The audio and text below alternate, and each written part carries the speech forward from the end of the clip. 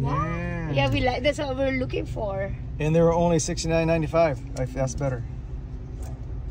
That's not too bad.